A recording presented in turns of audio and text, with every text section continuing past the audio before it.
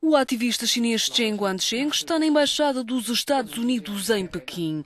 A garantia dada por uma organização dos direitos humanos com sede nos Estados Unidos, mas ainda não foi confirmada pelas autoridades norte-americanas. O advogado invisual, que fugiu da prisão domiciliar em que se encontrava há mais de ano e meio, denunciou entretanto ter sido vítima, juntamente com a família, de uma série de abusos e pediu a abertura de uma investigação.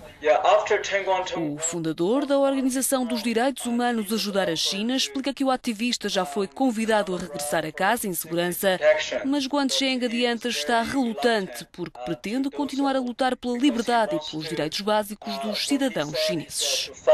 Um, to the end for the freedom and the basic rights um, as a Chinese citizen.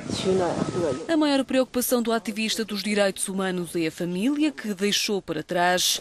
Guangcheng teme que a mulher e o filho possam ser vítimas de represálias por parte do governo chinês.